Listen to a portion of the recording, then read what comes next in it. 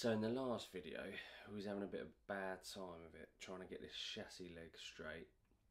If you remember, it was um, about 35 mil lower on the passenger side than it is on the driver's side, and no matter how much I heated it up, I had it glowing red.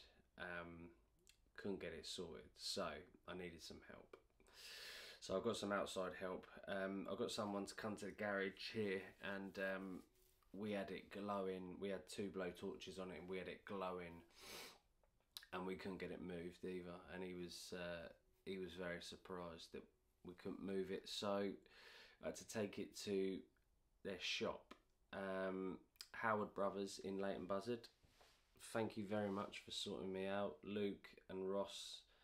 Um, they've been brilliant, and they sorted out my inner front wing as well.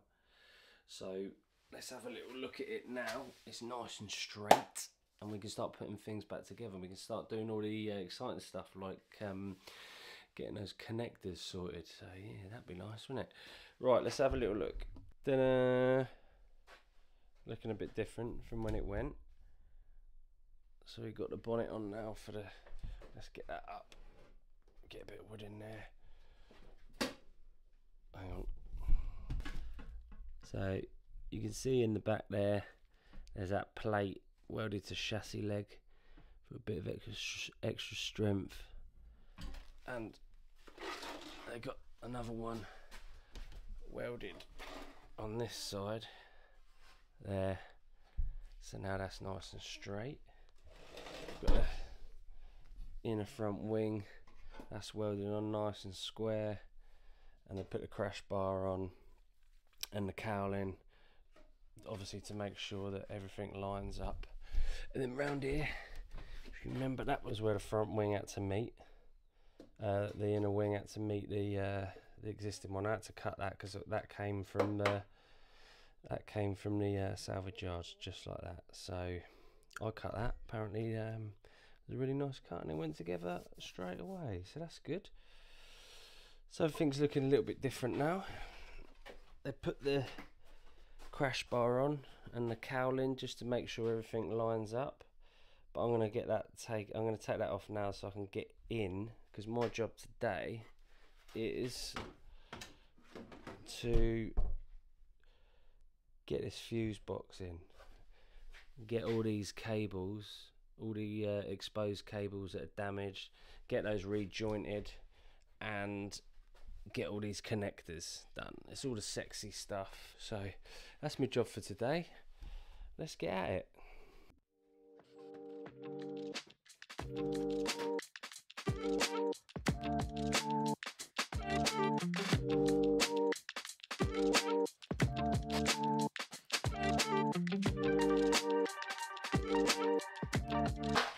So my kit, my kit for the day is basically cable strippers, cable snips, heat gun, need a heat gun. I put a, um, an end on that so it concentrates the heat so it's not spread all over, it don't damage other cables. And then a load of uh, a load of wire connectors. In fact, how many we got? 120. We've got a bucket of connectors. All sorts in here. Oh, and the other ingredient we need, step, so I can sit on it. Let's get on with it. These cable connectors are really easy to use. You've effectively got a tube of plastic and you feed the cables in from either end and where they meet in the middle there's a solder part that you heat to a certain temperature and then it melts and it effectively solders the two separate cables together. There's also uh, a plastic a plastic part on either end and once that's heat when that's heated that melts around the insulation on the wire so you can't pull it apart. So it's really simple and that's why all you need is some cable strippers some snips to break the wires where the damage is and then a heat gun, and then it all just shrink wraps. You leave it about 10 seconds. Bob's your uncle. Fanny's your aunt. So now we've done now we've done most of this, repaired most of this uh, wiring in the fuse box. We're moving left across the engine bay. So next thing we need to sort out is this plug connector that goes to the radiator, and then there's an earth. There's an earth that connects to the chassis leg. Uh, there, there. So that's obviously knackered. The the connector's knackered, and just like Blue Peter, I have one here, but I haven't connected it earlier. I've got to connect it now. So I'm just having a look. You've got um, a pump, water pump here, and that connector, that connector there, goes into that water pump there. And looking at that, and looking at this one, which I've got, they look the same. So there's no damage on the one that we're going to connect. So I'm just going to put that straight in to that. Push that in there, put the retaining clip in. Right, that's locked in. That's locked in. So we're we're getting going. Um, now I've got to do I've got to do a load more joining. So I need to cut that cut that right cable right there. Well, cut those multi cables right there. Let's get through them now. This is live. Right, there you go. Five small ones and one big one. Basically, what I've got to do is strip that, strip that, and then that earth will just go there on the chassis leg. All right.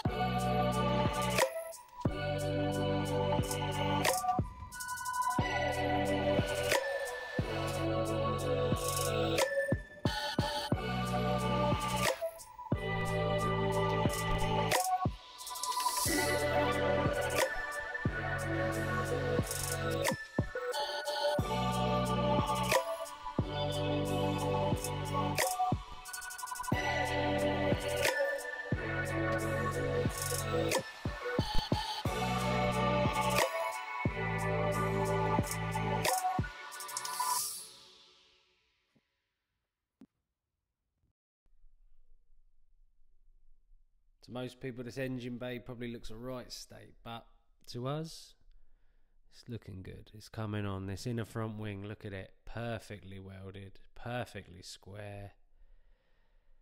To allow this fuse box to just sit in there very nicely and hide all of that spaghetti junction. Starting to take shape now. Let's push towards getting this started. All those connectors all those connectors finally done. Tedious work, but essential. Now, we need to change this power steering hose because it is broken. I've split. I'm splitting.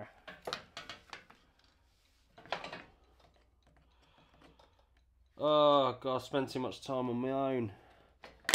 Spend too much time on my own out here. So now we've got all the cables repaired, all the connectors repaired. We've changed the power steering hose. Um, it's time. It's time now to get the rad pack on and get the coolant in the system, run it up to temperature. I'm getting excited now a little bit. We'll get it on. It's time to get that rad pack on. Let's get it run up to temperature. That's the aim today. Get it running, run it up to temp, and hopefully we can get all the panels on as well. I haven't got the bumper. The bumper's in thousand pieces, so I need to get a new bumper. and I need to get a new grill, but I've got those on order. Um, so we just the, the aim is to get all the panels on. Apart from those, try and get things lined up and get it running. So let's get going.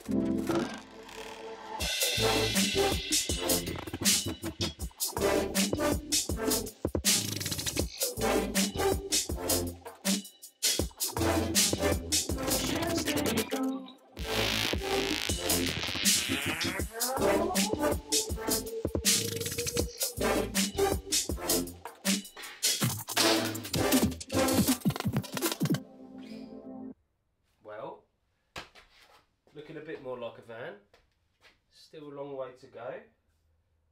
But getting there, we're getting there. Got the cowling on, bonnet on, headlights, couple of fixings there. Still got to go around, got to line everything up, panel wise. But this is on. And that is the most important thing for me. I hope it's the most important thing for you. We get some coolant in it now try and get it started. If I can get it started in here without having to jump it off of another car, I've got a battery pack, but I don't know if there's enough power in it. But if, if I can get started and reverse it out of this garage, we've got some champagne around here on one of these shelves, and we, just because it's been a long road, all right? It's a long way to go, but to this point, if I can reverse out of this little garage, I'll be well happy. So let's give it a go. Let's get some coolant in it. See if it goes. See if it runs. Come on, let's do it.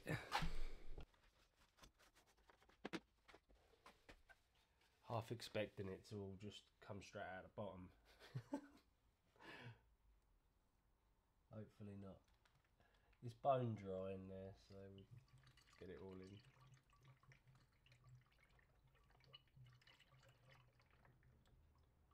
I'll have a pink floor by the end of this. No. Be positive. Be positive.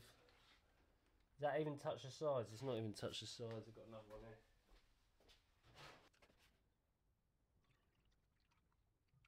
Ooh. Okay. Right, that was a bit annoying that we didn't have enough power in the battery to start the engine. Um, and I don't think the power pack is, I don't think it's got enough guts in it, but I don't think it's fully charged either. So that's a no go. So I've got to jump it off another car, which means taking out of here, which means you guessed it, me pushing it. Um, we've got a slight incline on the drive as well, which makes it even more difficult. But I'm going to give it a go. You have a laugh, right? Are you comfortable? That's good. That's the main thing. Okay, right. We're bobsleighing this. We're off. Let's go.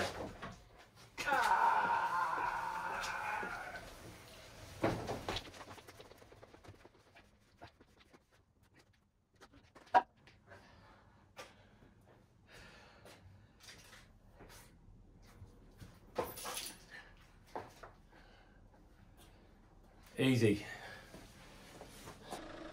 We're all connected up now. We're outside. We've got the car running. We've got British Summertime in full flow. Let's see if it starts.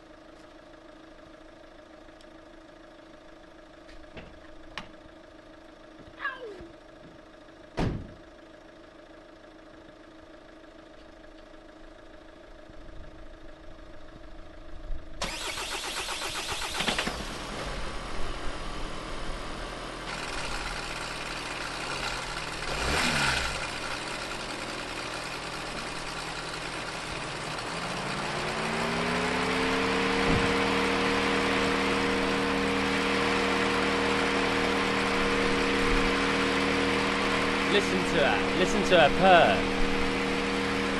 Come and have a closer look. Yeah, that fan.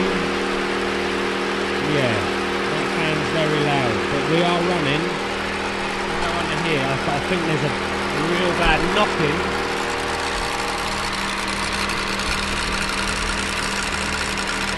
I think that. Let me bring you over here. I can't talk. Hang on, let me bring you here. That fan sounds like a wind turbine, and there's a proper knocking on the gearbox. You can feel. When you put your hand on it, you can feel it like all the cogs just spinning around. So we need to investigate that. I haven't tried to put it in gear yet. Let's see if it moves. We're in the van. First time ever. We're inside. And it's running. Running very poorly. So I'm going to turn the engine off now because I don't want to do any damage. I wonder whether it'll start on its own now. It's been running for about 10 minutes. I wonder if there's enough in the battery. Let's turn it off.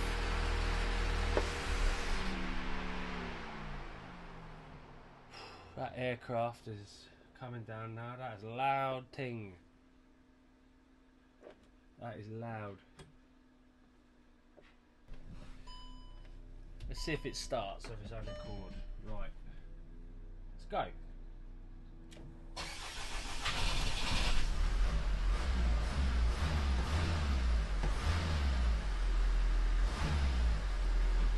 Listen to her purr. Listen to her purr.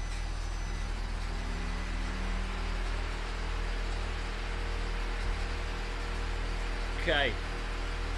Objective one complete. We've got a running van. Finally. There's a lot of snags. There's a lot of things we need to sort out. Well, not we, me, really, but a lot to involve you lot in it. Um, again, if you can see something that I'm doing that you can help me out with, do let me know because I do need that help. There's a huge rattle uh, tapping on the gearbox, on the casing, you can feel it with your hand. So I need to get that sorted out. I need to figure out all the fan and everything like that, why that's just constantly on and why it sounds like a turbine. But it's running, and that's the main thing. It starts on its own. I Don't know if it'll start tomorrow on its own, but it's starting now on its own. We're inside together. First time we're making new ground pleased. I'm pleased. Brakes work. Goes into gear. Goes forward. Goes backwards. I think that's pretty good. So I think we should end that video here. This is the end of part 4. Tune in next week, part 5. I'll give you a little update on a few things that I've fixed, hopefully. And in the next episode, a little teaser, we're going to be working inside and sorting some stuff out in here.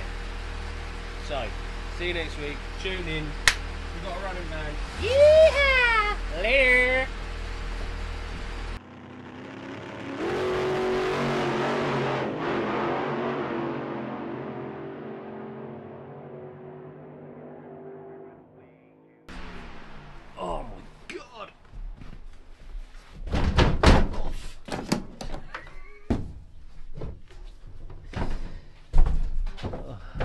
See you later.